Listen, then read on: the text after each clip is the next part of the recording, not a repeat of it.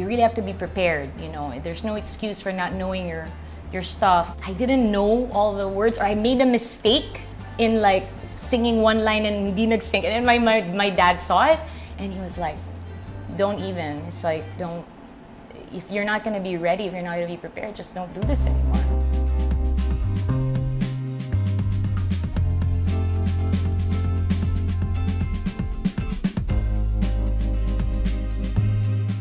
I'm better off when I'm relaxed. Kasi when I say gagalingan ko, usually that's the worst thing. Okay? It's not human to not always be kind of still on the edge. But the more relaxed you are and the more you tell yourself like, you know what? It's to be okay.